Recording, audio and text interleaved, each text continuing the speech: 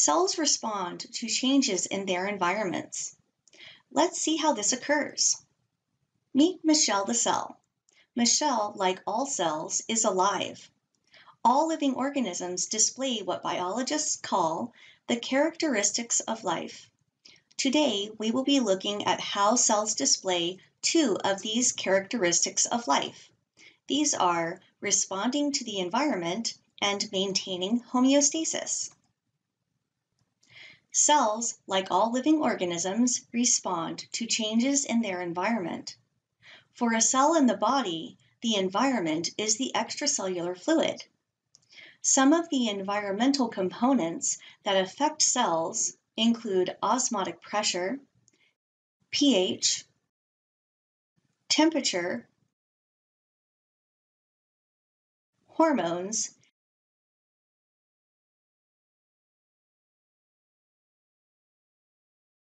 and available nutrients. Responding to the changes in the environment enables an organism to maintain homeostasis. Michelle's friend mentions, Michelle, I am worried about you. You stayed home every day this week. Michelle responds, Don't worry, I am just practicing homeostasis, the act of staying at home. Michelle's definition of homeostasis is not quite right, so let's see what it should be. Homeostasis is the ability of an organism to maintain the conditions of its internal environment despite changes to its external environment. Organisms must respond to the environment in such a way to maintain their homeostasis. Every living organism has its own set of physiological conditions that must be maintained in order to sustain life allowing the internal environment of an organism to deviate too far in one direction or the other from its normal physiological state can result in illness and even death. The important conditions that must be continuously maintained by the cell include temperature, pH, osmotic pressure, available nutrients, and making sure there's not too many waste products built up in the cell. How do cells maintain homeostasis? Homeostasis is made possible by the cell membrane or plasma membrane. The membrane of the cell acts as a barrier that separates the inside of the cell from the outside of the cell. The membrane is selectively permeable. In this way, the cell membrane regulates what comes into the cell and what goes out of the cell. Substances that are allowed to freely cross the cell membrane include small uncharged molecules like oxygen, carbon dioxide, water, and ethyl alcohol. Also, lipid soluble molecules such as glycerol can freely move across the plasma membrane.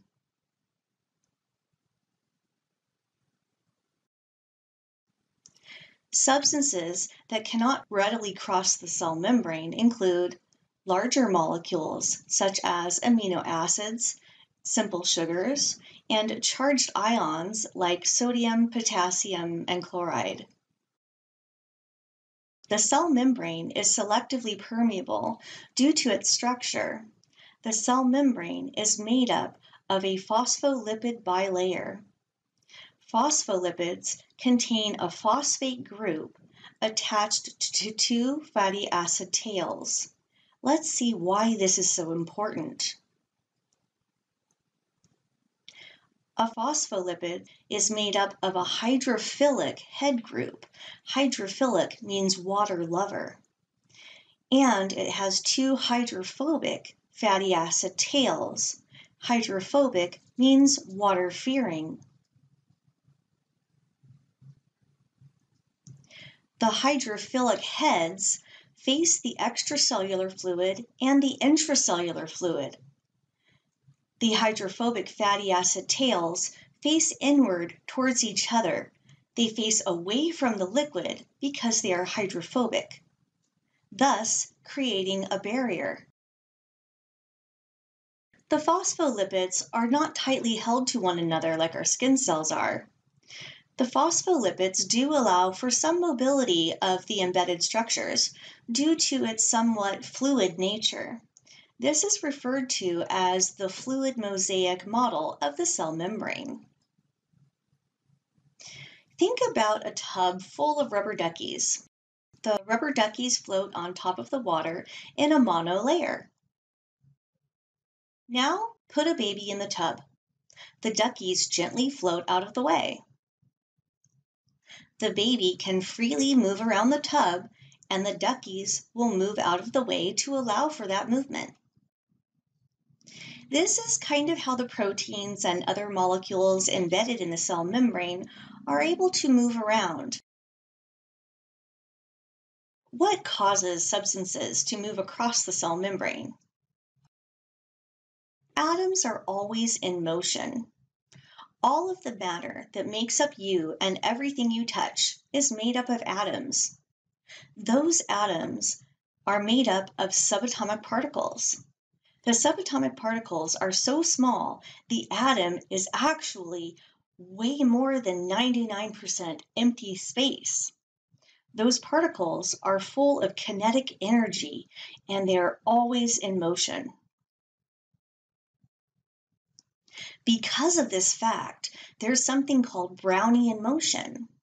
Brownian motion is the random motion of particles suspended in a fluid a liquid or a gas, resulting from their collision with the fast moving atoms or molecules that are existing in that gas or liquid. Particles enjoy having some elbow room. Because of Brownian motion, particles in solution naturally want to spread out as much as possible, filling up all of the available space until a state of equilibrium is achieved. A solution is made up of a liquid component and one or more solid components. The liquid component of a solution is called the solvent. The solid component or dissolved substances in the solution is called the solute. Let's say we fill a container with water. Then we add a permeable membrane that separates one side from the other. Next, we place some particles in the solution on one side of the membrane only. Then we wait. When there is a difference in the concentration of a solution, this is called a concentration gradient. When particles move from an area of high concentration to low concentration, this is called moving down the concentration gradient. This requires no energy when particles move from an area of low concentration to an area of high concentration, this is considered going up the concentration gradient or against the concentration gradient. This process requires energy in the form of ATP. Since this membrane is permeable to the particles that we have added, we will see movement of those particles from the side with higher concentration to the side with lower concentration until the concentration on both sides of that membrane is equal. This movement of particles from high concentration to low concentration is called diffusion. There is a driving force on all particles to go from high concentration to low concentration. Substances naturally want to travel from areas of higher concentrations to areas with lower concentrations until those concentrations are the same or at equilibrium. In order for us to get an idea of what happens in cells, we must use a semi-permeable membrane.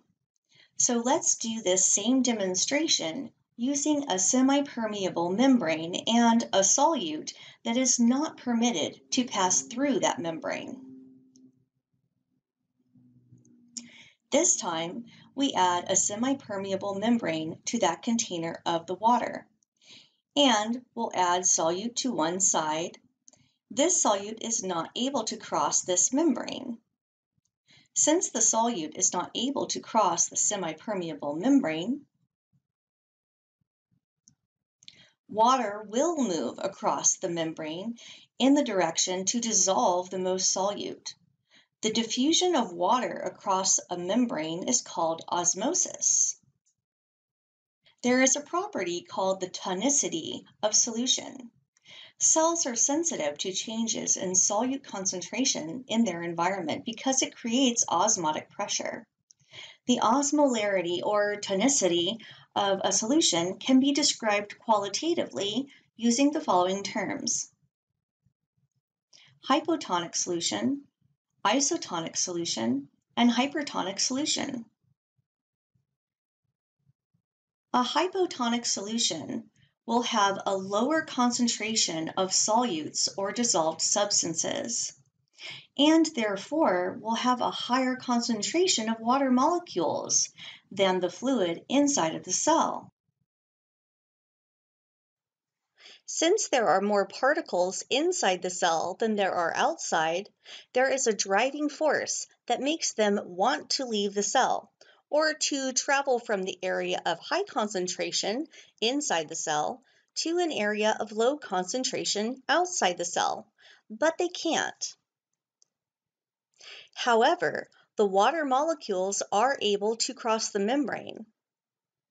In a hypotonic solution, since there are less dissolved particles in the solution than inside the cell, there are more water molecules that are outside the cell than inside the cell. So that means there is a driving force on the water molecule that makes them want to go inside the cell. Water rushes into the cell in the direction of its own concentration gradient. Then water rushes into the cell. This causes that cell to swell. The cell can swell so much it can burst. Hyper means high. A hypertonic solution will have a higher concentration of solute or dissolved substances, and therefore a lower concentration of water molecules than the fluid inside of the cell. There is a driving force on the dissolved substances inside of the solution that makes them want to travel from the area of high concentration outside of the cell to the area of low concentration inside of the cell, but they can't. So instead, water rushes out of the cell in the direction of its own concentration gradient. When water rushes out of the cell, the cell will shrink, shrivel up, and can die. This is called crenation. Cells in an isotonic solution are perfectly happy. In an isotonic solution, there is no net movement of water going into or out of the cell. In an isotonic solution, the solute concentration of liquid outside of the cell is the same as it is inside of the cell. The extracellular fluid in your body is isotonic. Plant cells respond a bit differently to changes in osmotic pressure than animal cells do because they have the added protection of the cell wall. Plant cells prefer to be in an isotonic environment, but they are a bit more resilient to osmotic changes than animal cells are. In a hypotonic solution, the plant cell will not burst, but instead the vacuole will fill up with fluid. In a hypotonic solution, the vacuole will become depleted of its water stores. What factors affect the rate of osmosis? Factors that affect the rate of transport in osmosis and diffusion include size and weight of the molecules, size of the concentration gradient, the available surface area, and temperature. Factor number one, molecular weight and size. Smaller, lighter molecules diffuse faster than larger, heavier molecules. Factor two, the size of the concentration gradient. When there is a large difference between the two concentrations, osmosis occurs faster. When there is a small difference between the two concentrations, osmosis will occur slower. Factor number three, available surface area. When there is only a small amount of surface area available for transport to occur, transport will occur more slowly. When there is a large surface area available for transport to occur, transport occurs faster.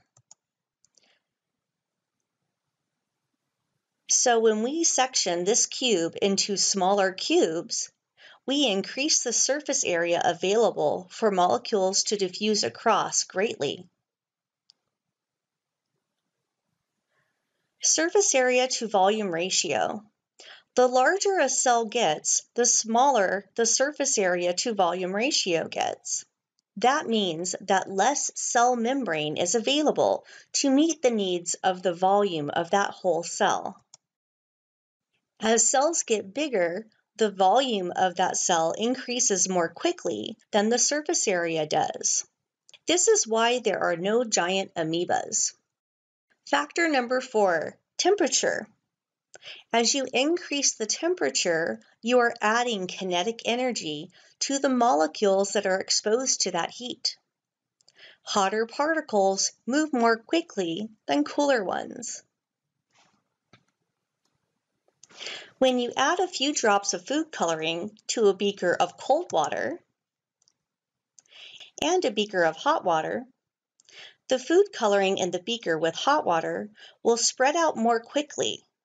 This is because the molecules that are hot are moving faster. Thank you for watching.